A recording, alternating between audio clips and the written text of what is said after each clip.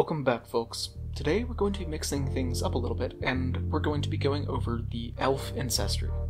I've been meaning to make a video like this for a while now, so I hope that it's helpful for anyone looking to play as an elf.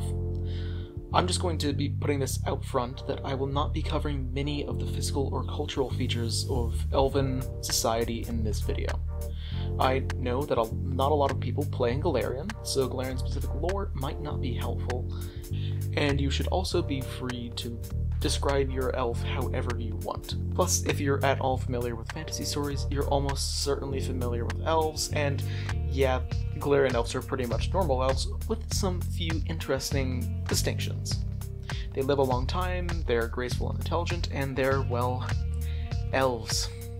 Either way, I'll be covering elves in three parts in this video. First, the basic features of all elves that everyone shares. Second, the different heritages that elves can gain access to, and you get one of those at level 1. I won't be going over all of the versatile heritages, as each of those deserve a video of their own. Finally, I will be going over all of the ancestry feats that you can choose. Settle down and go grab some snacks if you want, and let's get down to business. Let's start by covering some of the simpler features that all elves get access to. You get a total of 6 hit points from your ancestry, which is unfortunately the minimum amount that an ancestry can give you. Elves aren't often physically sturdy, but you do get some other really nice benefits. Elves are medium sized, which is standard, and they also have a standard speed of 30 feet. This is huge considering that almost all races have a base speed of 25 feet or lower, meaning that that additional 5 feet of movement can help you get out of so many different situations, whether that be positioning into a different, more advantageous position in melee combat, ducking behind cover, or even just for calculating your overland travel speed. Maneuverability should never be underestimated. Moving on just a little bit, uh, as anyone who has read or watched the Twin Towers from Lord of the Rings can tell you, elves have good eyes. In mechanical terms, elves have low light vision, which allows them to see just as well in dim light as if it was in bright light. This means that they can ignore a lot of concealment that other races might have to deal with. Finally, all elves know Common and Elven. If your intelligence modifier is positive, then you can choose an additional amount of languages you know equal to your intelligence modifier from the list of Celestial, Draconic, Gnoll, Gnomish, Goblin, Orcish, Sylvan, and any other language that would make sense for your character to know depending on the region that they're in. Also, while it isn't a mechanical trait, do keep in mind that elves can live for a very, very long time, and certain feats or abilities can only be taken by elves of a certain age, as those abilities or feats represent an accumulation of knowledge over a very long time. The last part of the basic features that all elves get access to is their ability score boosts and flaws. All elven characters get a boost to dexterity and intelligence at level 1, along with a free ability boost that can be put into anything but dexterity and intelligence, no double dipping. Unfortunately, though, elves also do suffer from a constitution flaw. This flaw, when combined with only having 6 hit points from your ancestry, will really, really not help your total hit points. And I really suggest putting that free ability boost that you get into Constitution, as that will help make up for this flaw. Every character needs Constitution. But thankfully, most classes can benefit from having a good dexterity or intelligence. Dexterity is great for almost every single type of martial, and no spellcaster is going to be upset about having a good dexterity. And intelligence means that elves often make really great wizards or witches, or basically any character that cares about intelligence at all. Overall, the elven ability scores are great for characters that need dex or intelligence, but your hit points and fortitude saves will always be a bit behind pretty much any other character. This is always going to be manageable though, and you can certainly deal with it. Don't let the name fool you, as the ancient elf heritage isn't just for old crotchety elves. It requires that you're at least 100 years old, which, by elven standards, is just that you're an adult. The benefits of being an ancient elf are incredible, as it gives you a multi class dedication even though you're level 1. This generally represents some kind of training that you've had years and years and years ago, and it's a great way of expanding your, your options at level 1 and can help give you some mechanical bite to the flavor in your backstory. While it is perfectly fine to just say that your elven champion was raised as a priest, it gives a bit more significance to it if you also have a cleric dedication, give you access to some of the cleric abilities. So you literally are a priest. Also, ask your GM if they're alright with you taking normal archetype dedications rather than just taking multi-class dedications. I don't think that it's overly powerful as long as they are level 2 dedications, but it's definitely not allowed rules as written, but it does allow you to really get some interesting character concepts going from level 1, like say grabbing an archaeologist dedication. That's not going to break the game, but it might fit with your backstory better than a multi-class dedication would.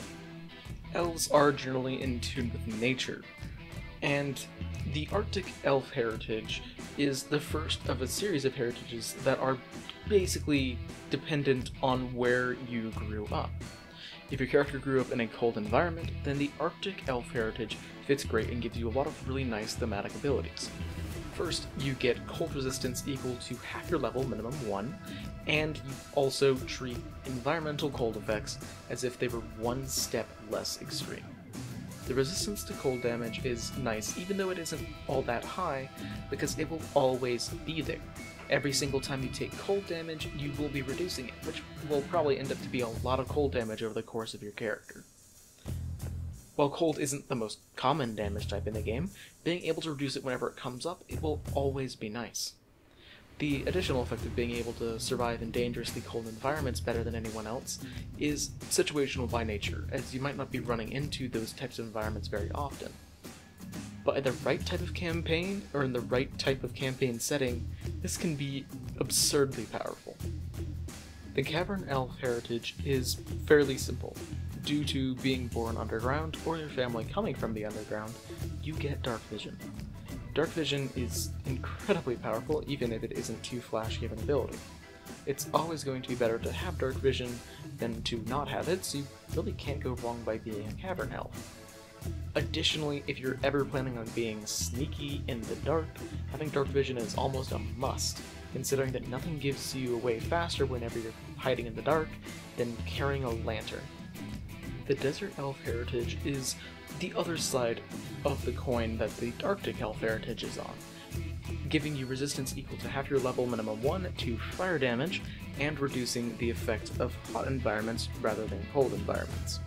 This is even better than the Arctic Elf heritage in my mind, since fire damage is the most common elemental damage type in the entire game. You're going to run into fire damage a lot more than cold damage, which makes the little bit of resistance you get go much further. Also, being better at taking environmental heat effects and being able to function in those environments is situationally incredibly, incredibly strong, just like with the Arctic Elf Heritage. So maybe ask your GM how, how often you're going to be in those types of environments. The Seer Elf is fascinating, as it's a great way to give a martial character some really generic but useful magical ability, or to enhance the pre-existing magical ability of a spellcaster. You get the ability to cast the Detect Magic cantrip at will, which heightens as normal for a cantrip. On top of that, you get a plus 1 bonus to identify magic and to decipher magical writing. This is a set of fantastic benefits, as Detect Magic is one of the most generally useful cantrips in the entire game, and flat bonuses on checks to identify magic and decipher writing are generally pretty rare. For a martial character, it's a great way to be able to not have to rely on your allies to find magic and identify it, and for spellcasters, it means that you don't actually have to ever learn Detect Magic, or memorize it every day, effectively giving you another cantrip every day, because pretty much every spellcaster worth their salt is probably going to be pairing Detect Magic. I can't think of a situation where you would ever not want to have Detect Magic, and the bonus to Identify Magic will just make identifying magic items a lot easier, and it will, you know, reduce the chance of you accidentally putting on a cursed item without realizing it. The Whisper Elf might be one of the most generic elf heritages, but that is in no way a bad thing. Your ears are incredibly sensitive to the smallest of noises, which makes you way better at finding creatures that are hiding. Whenever you use the seek action to try and find undetected creatures, rather than seeking in a 30 foot cone in one direction, you seek in a 60 foot cone. Additionally, whenever you are trying to find a creature that is within 30 feet of you that you could hear, you get a plus 2 circumstance bonus on your perception check. This is incredible since finding hiding enemies can completely change how fights end up working. Whenever a creature is hiding, it will generally draw out an encounter or allow them to use an ability that they can only do whenever they're unnoticed or undetected. Going from a 30 foot cone to a 60 foot cone is a huge, huge increase in area that basically more than doubles the amount of area that you can look at a single time. The cherry on top is that plus 2 circumstance bonus, which makes you even better at finding creatures who are nearby. This is going to work on almost all creature types, since pretty much everything makes noise and you only get that plus 2 circumstance bonus against creatures that make noise. But really, think off the top of your head. What kind of creature is incapable of making noise? These benefits do only work when trying to find creatures though, so you aren't as good at finding objects or secret doors, as those generally don't make noise. There are two benefits to being a woodland elf, and both are strong in forest terrain especially. Unfortunately, they don't give you all that much outside of forest terrain, so I really recommend talking to your GM about whether or not you'll be in forest terrain a lot in the game before you decide to be a woodland elf, as it doesn't feel great to never be able to use your heritage bonus because you never go into a forest.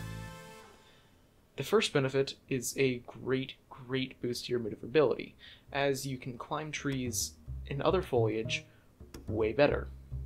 You move at half speed on a success and full speed on a critical success, and if you ever get the quick climb skill feat, then you can move at full speed on just a normal success. This is a huge, huge increase the speed at which you can climb, even if it is limited to a particular part of the environment. But it can really help out whenever you need it. If you are a woodland elf, I really recommend at the very least being trained in athletics, because otherwise your increased climb speed isn't going to matter as much since you are less likely to succeed or clearly succeed in the first place.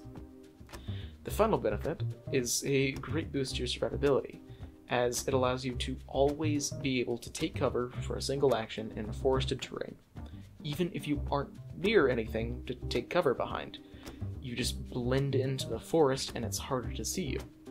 This means that you can spend a action to get a bonus to AC and reflex saves anywhere in a forest. And then you can use another action if you want to try and hide using stealth. This is an incredible boost in the right situation to your survivability, and it is a great way to just live longer if you have an action that you don't know what to do with. Also, rogues are going to just love being able to take cover and then hide anywhere. It's amazing. The Ancestral Linguistics feat is a really interesting kind of feat, especially for more studious characters or in games with a lot of research.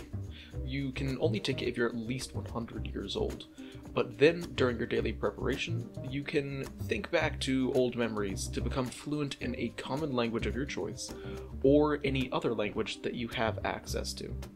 This is a temporary effect, meaning that you can't use this knowledge to serve as a prerequisite for more permanent effects. Main drawback of this feat, but also benefit of it in a way, is that it requires you to think ahead to get full use out of it.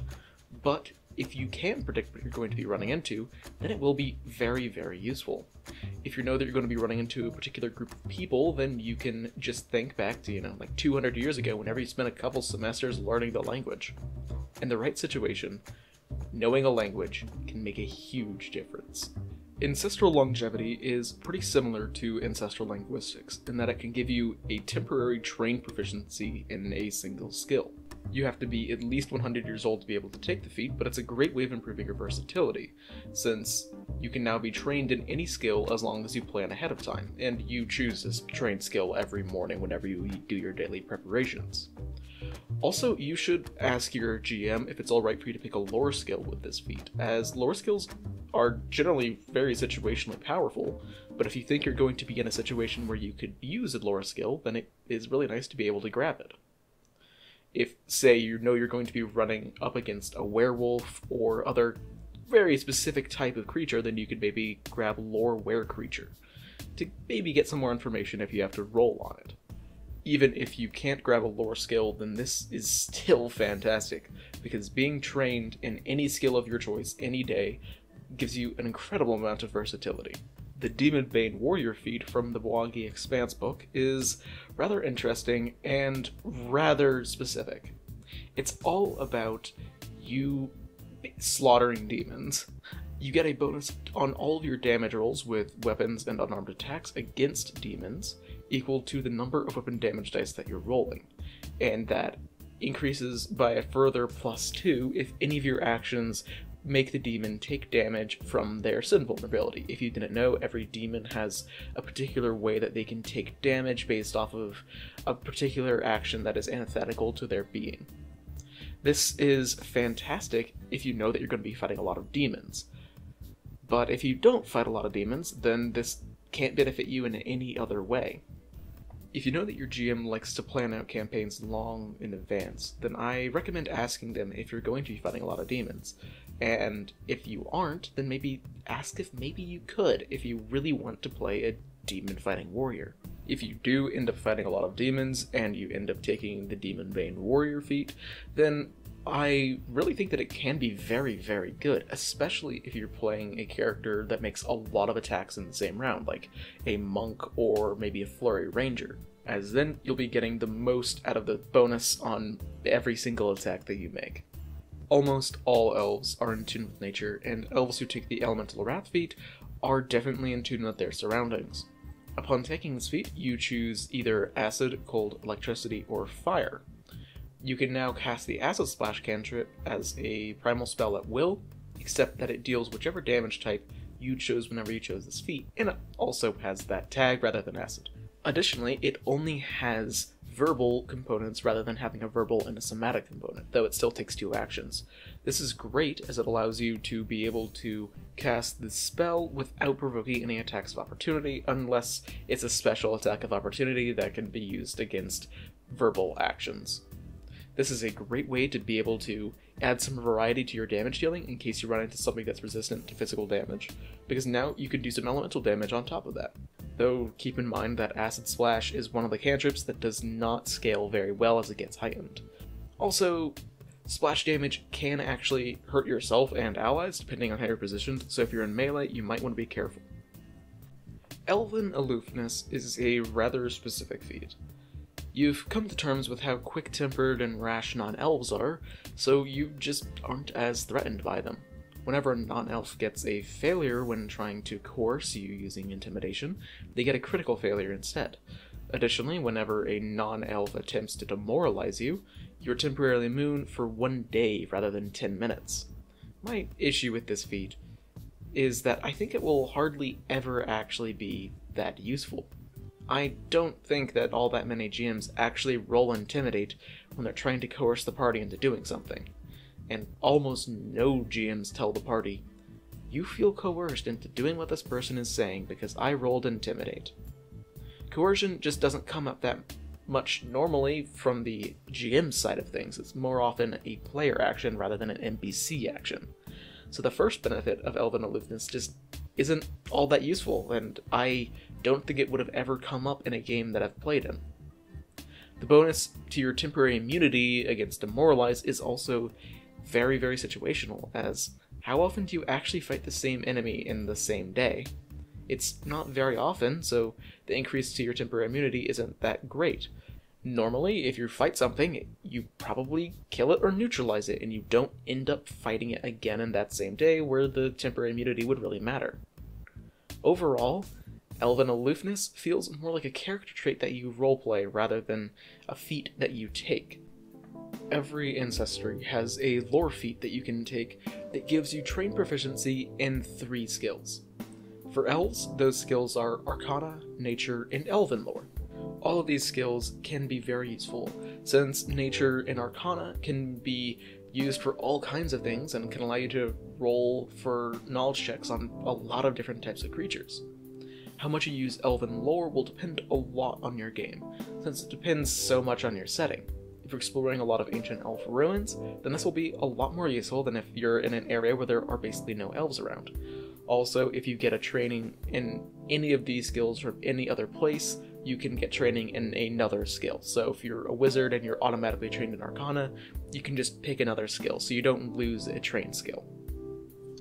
Elven Verve is another rather specific feat that gives you a plus one circumstance bonus to saves against effects that give you the immobilized, paralyzed, or slowed conditions. Also, if you would have any of those effects for at least two rounds, you reduce the number of rounds by one. This is very, very situational, but whenever those effects do pop up, you definitely don't want to have them, so a plus one bonus on saves against them would be pretty nice. Unfortunately, though, a lot of the times that you would get the immobilized condition, it's either an attack roll made against you or just a skill check against one of your skill DCs to be grabbed. It's up to you whether or not you want to take Elven Verve, considering that it will likely come up infrequently throughout a campaign, but it could be pretty useful whenever it does come up. It's up to you whether or not you want to take a feat that might only be useful every once in a while. Elven Weapon Familiarity is an incredibly interesting feat due to the weapons that it affects, and it can really change up the way that you want to build your character. You become trained in longbows, composite longbows, long swords, rapiers, shortbows, and composite shortbows. This is mostly useful for classes that aren't trained in all simple and martial weapons, like, say, rogues and pretty much every single caster, as now you get access to all different types of weapons that you might not otherwise. A wizard who is trained in a shortbow all of a sudden has another way to use their third action after they cast a spell, which greatly opens up their actions. They might not be the most accurate character in the world, but it's still an additional attack roll and it could certainly be useful. The second effect gives you access to all uncommon elf weapons, and also any martial elf weapon counts as a simple weapon, and all advanced elf weapons count as martial weapons. There aren't any advanced elf weapons actually, but being able to count the martial ones as simple really helps out for classes like, say, rogues, as now they can actually get all of their trained proficiency in them. There are four elf weapons that this gives you access to the Elven Branch Spear, the Elven Curved Blade, the Mithral Tree, and the Three Peak Tree.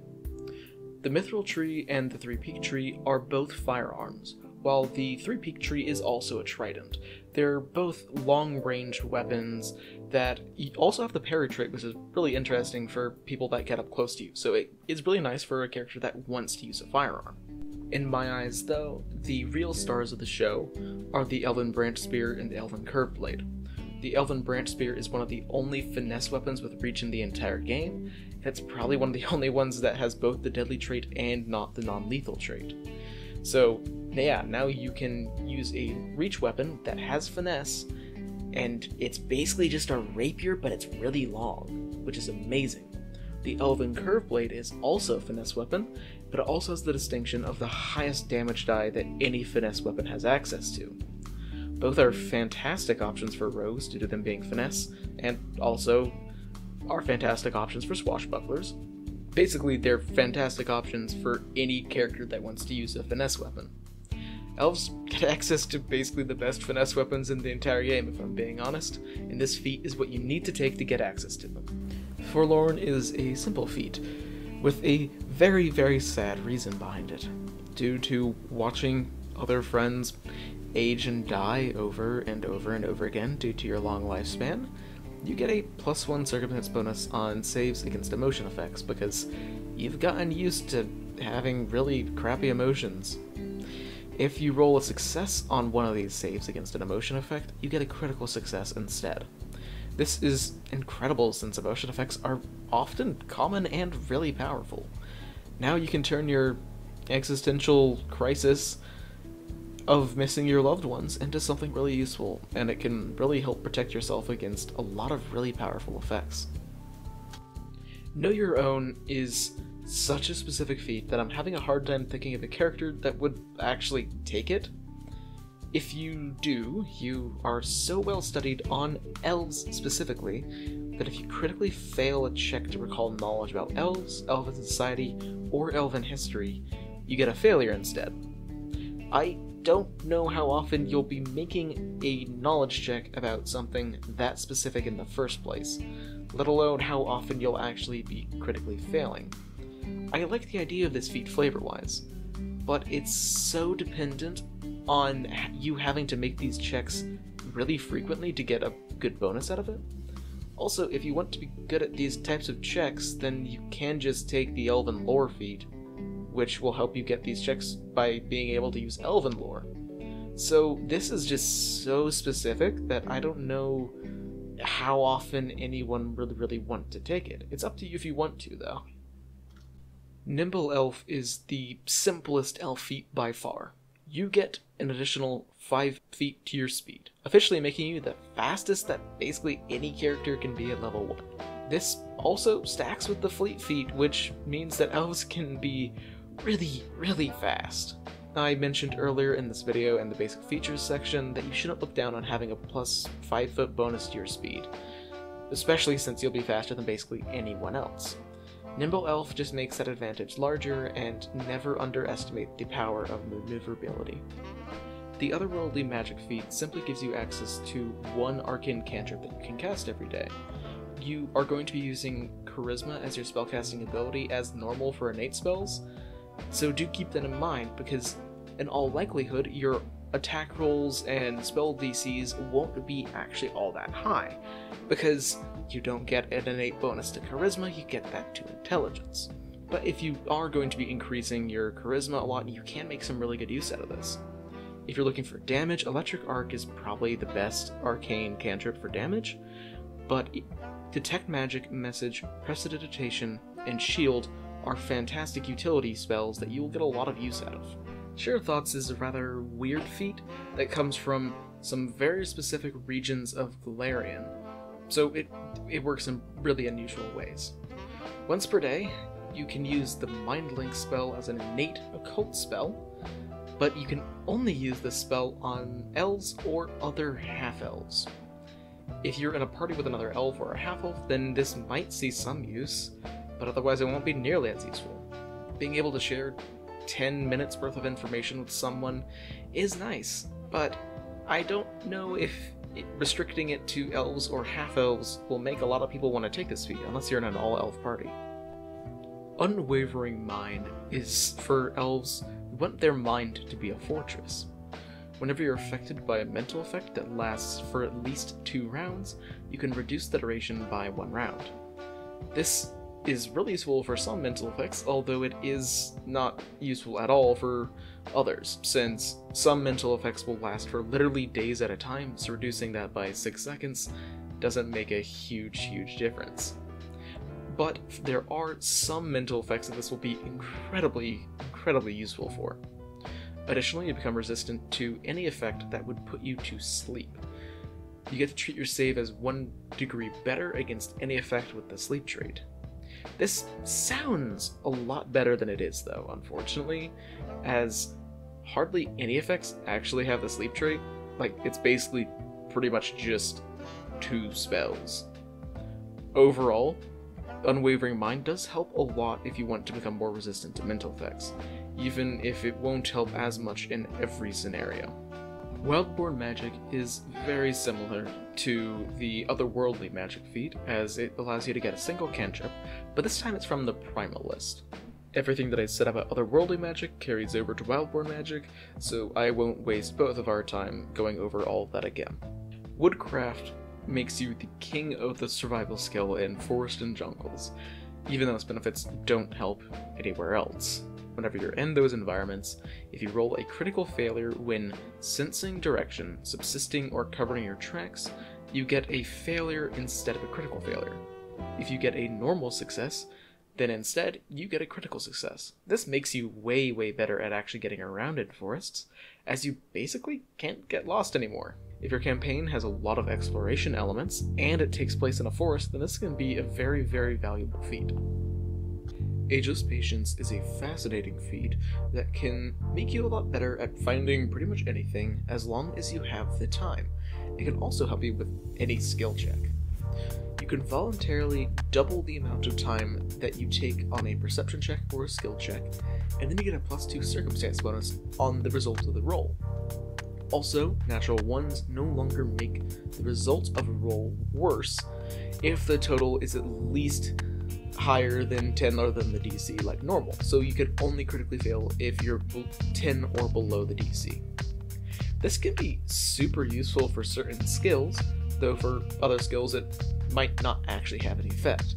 If you wouldn't actually get any benefit for taking your time with it, you can't actually use Ageless Patience on it. For example, it's great for medicine if you have the time to spend to spend double the amount of time patching up people's wounds to make sure you're going over everything correctly.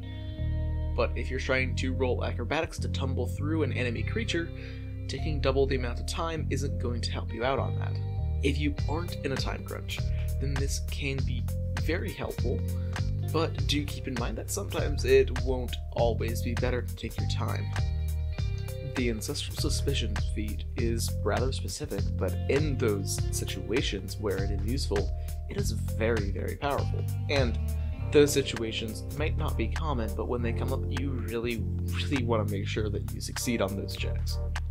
You have seen so many civilizations rise and fall that you're wary of others who might seek to manipulate you, getting a plus 2 circumstance bonus to saving throws against effects that would give you the controlled condition, and to perception checks to sense motive to determine whether or not another creature is being controlled by someone else.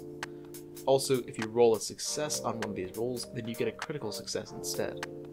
This is really great in campaigns where you know you're going to be fighting against particularly types of enemies.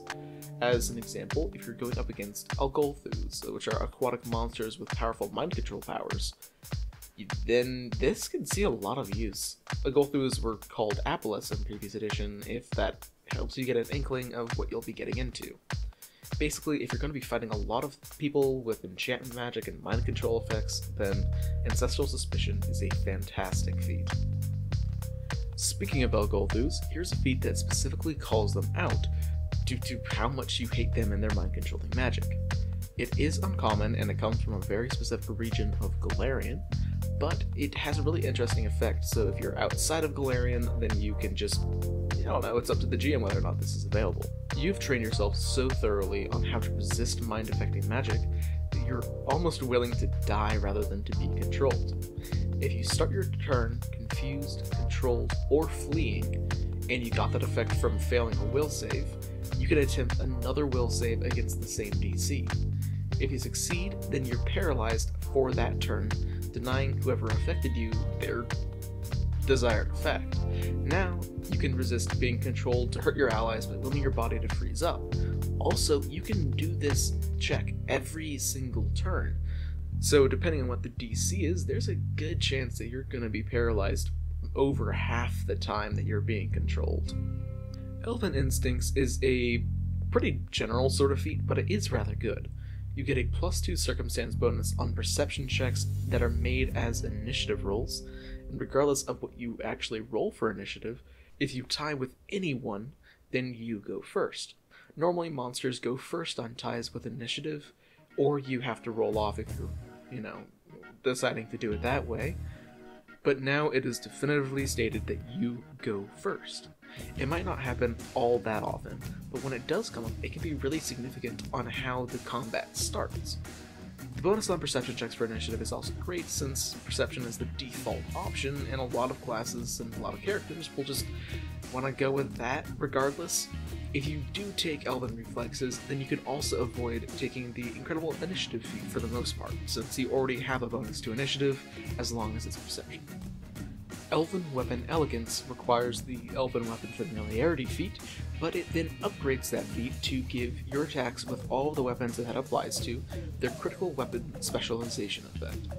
This can be pretty useful, but many classes will get these critical effects naturally as part of their class. So for any class that is trained in all simple or martial weapons, then you don't quite get a lot out of this.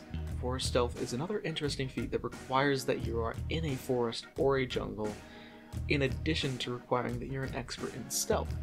So it's a little bit specific about the environment that you're going to be in, but there are enough of those that this isn't that much of a surprise by this point. For one action, you can take cover and then immediately hide, which is, frankly, insane action economy. Taking cover gives you a bonus to your AC and to your reflex saves, which will certainly be helpful your check to hide it doesn't work. And if it does work, which has a good chance due to you having the cover bonus to your stealth check, then you are also hidden, which is a fantastic way to improve your survivability. This is a really fantastic feat for a ranged rogue, though it is only useful in forest, so your mileage may vary. Ask your GM, again, how often are we going to be in a forest this campaign, because that will make a significant impact on how useful this feat is. Martial experience is an interesting feat, since it can give you training in all kinds of weapons. Whenever you take this feat and use a weapon that you're untrained in, you use your level as your proficiency bonus. And at level 11, you become trained in all weapons, regardless of what group they're in or what proficiency they have. This is pretty good, but most martial characters are already trained in simple and martial weapons, so this is mainly for characters with very limited proficiencies who, or who are only trained in simple weapons. But at that point, you could just take the weapon proficiency general feat to become trained in all kinds of martial weapons.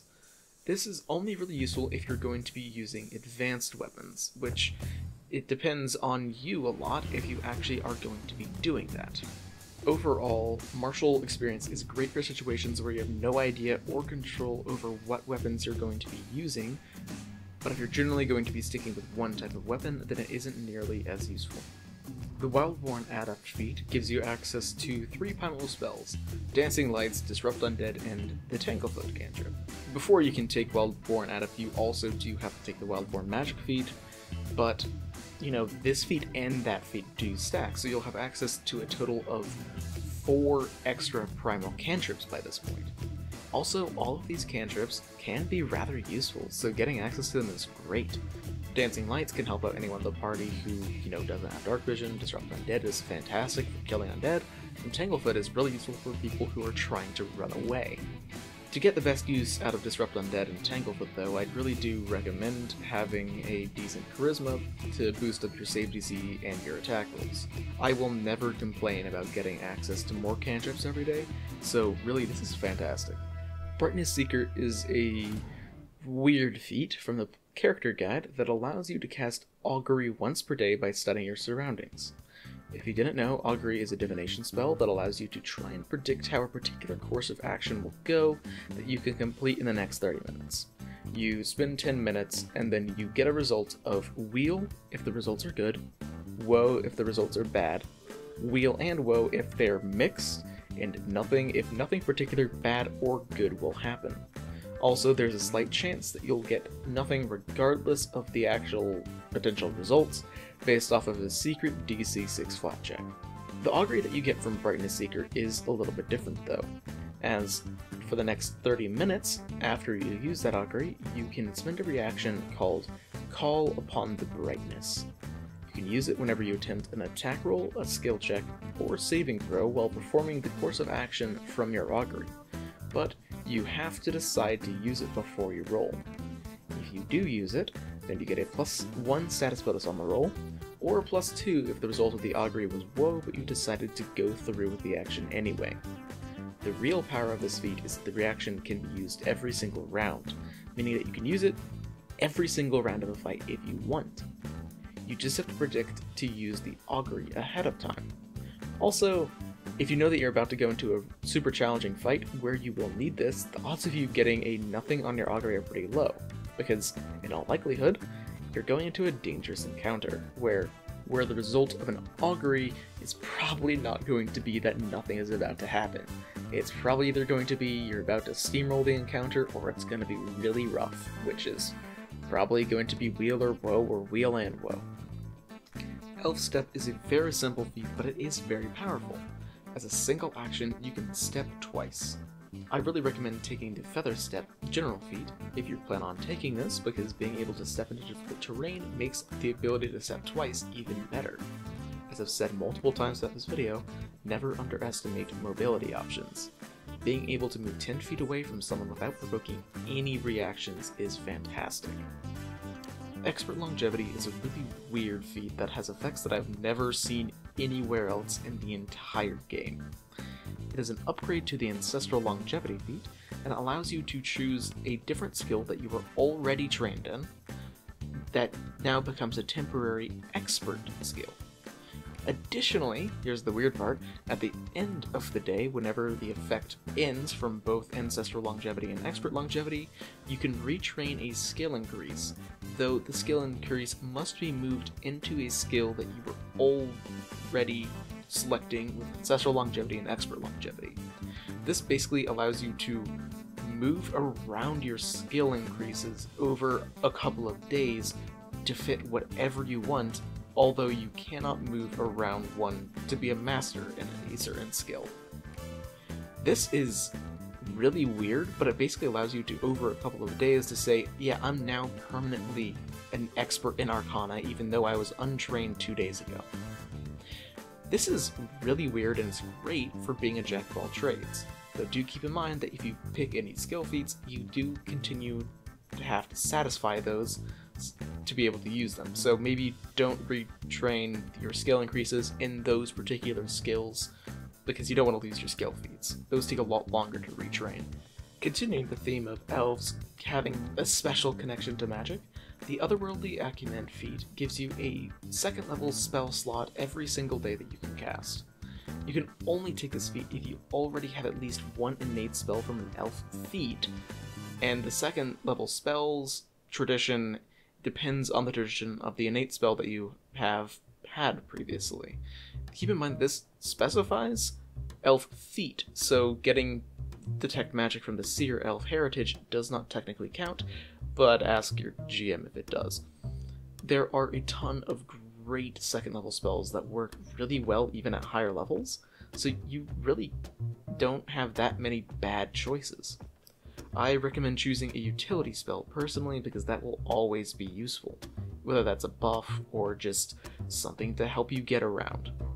Also, with a day of downtime, you can change up this spell into a different common second level spell of the same tradition, so don't get too caught up on your decision because you can always change it.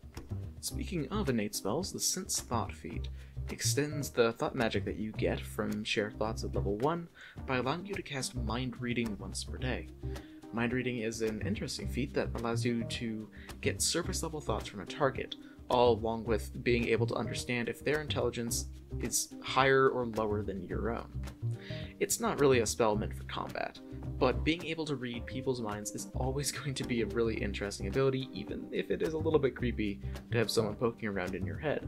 So it's a great, great feat with a lot of really interesting roleplay elements to it. Tree Climber is a simple feat that sounds like it will have similar effects to the Woodland Elf heritage, but it's not exactly the same and it doesn't even require being a Woodland Elf. Due to spending so much time climbing around trees and being in the canopy, you get a 10 foot climb speed. This is pretty good even if the climb speed is a bit low. It might not be useful a lot in combats, especially because you're getting to a level now where flight becomes a pretty realistic option, but out of combat it will simplify things a lot. Even in combat, sometimes a 10 foot climb speed can be very impactful, but it might not be most of the time because that is a pretty slow climb speed. But it is still always better to have a climb speed than to not have one. At level 13, Avenge Ally is a feat that you really, really hope that you won't be using all that much. You can only use it whenever you're next to a ally with a dying condition, but then you can use an action to roll twice and take the better on a strike against any creature that you can make a strike against. If you've watched my video on the Swashbuckler or the Unexpected Sharpshooter, then you'll know my thoughts on the Fortune trait and being able to roll twice. It's hugely impactful and is a great, great bonus to your roll, and Avenge Ally is justifiably limited to being used once every 10 minutes. It can be a great way to turn a bad situation into a slightly better situation.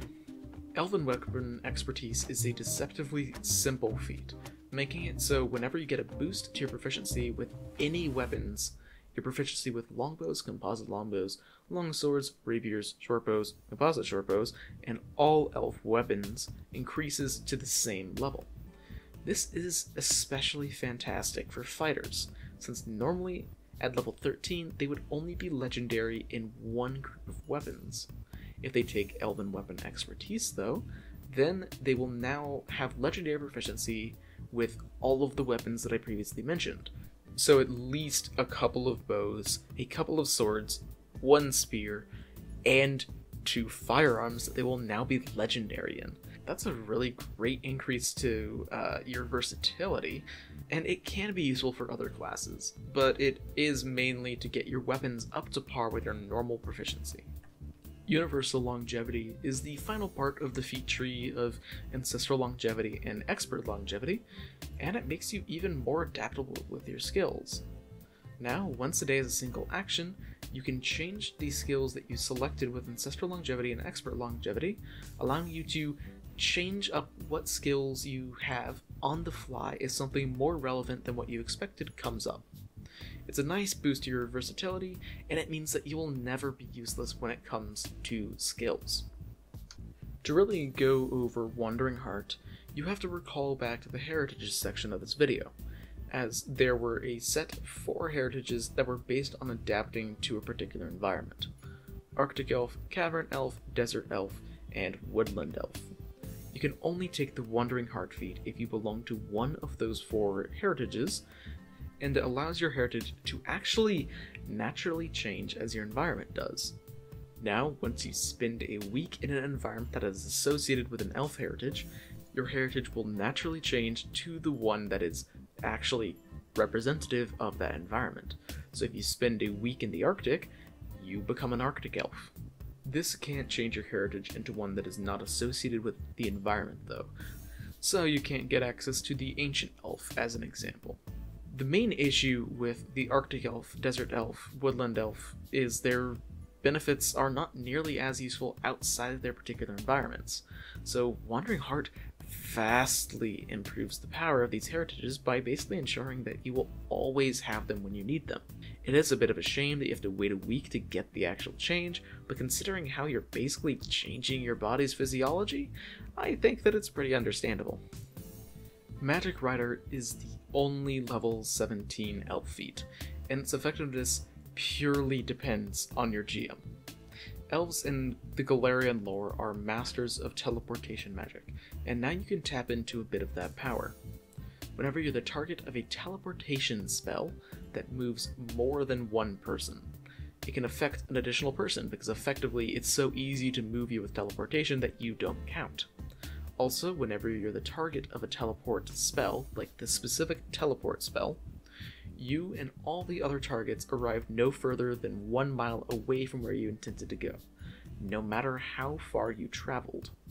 The reason why I say that the mileage of this feat varies depending on your GM is because the only teleportation spell that is common that can move more than one person is Collective Transposition which allows the caster to move around allies, meaning that now a total of three allies can be moved rather than two. This means that if you aren't allowed any uncommon spells, this level 17 feat will only boost one specific spell if your GM doesn't allow you to grab the other teleportation spells.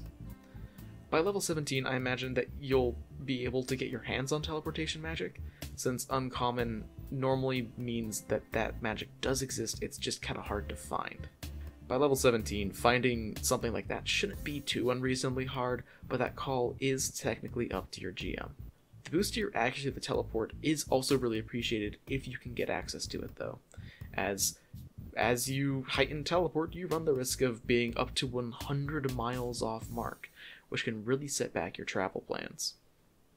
Overall, the elf ancestry is really interesting and has a lot of interesting downsides and a lot of benefits. They get so many interesting feats that really can interact with all aspects of how Pathfinders play. They're not just like all combat ancestry or all roleplay, they have a ton of different feats that can really satisfy a lot of different niches. There are lots of feat that have great ideas for roleplay or really give you a lot of incentive to roleplay out situations. And they also have some great abilities that encourage you to use downtime or exploration activities. But they also have a ton of feats that boost your combat effectiveness or give you access to all different types of abilities. The set of weapons that you can get access to using the line of Elven weapon familiarity feats are fantastic, and there aren't all that many feats that I would say are just straight up bad. I'm being completely honest when I say this. I think that you can make a very effective character of any class with an elf, and I love that that's true because that wasn't true in necessarily in previous editions. Also, I feel like I should say this at some point, but pick whatever you feel is best representative of the character that you want to play. Ancestry feats are not going to make or break your character, so pick whatever you think is going to be fun for you to play at your table. Your ancestry feat is not going to determine whether or not your character is dead weight or if they're going to be weak or strong. It might, you know, push you a little bit further into uh, the territory of being strong, but it's not going to make your character quote unquote bad. Pick whatever you think will be fun for you to play as. It's a game. Have fun with it. Thanks for watching. This has been a really interesting video to make, since Ancestries are in a very different design space as the rest of Pathfinder. They're a lot more focused on flavor over mechanics, which could make my job of making a guide a bit harder to do. But I've really enjoyed the challenge. If you've got any thoughts that you'd like me to see, whether that be pretty much anything, then I'd appreciate a comment down below. If you liked what you have seen today, then I'd really appreciate it if you could either like or subscribe down below because really any kind of engagement will boost how much people see my videos. Until I see you next, live a wonderful life.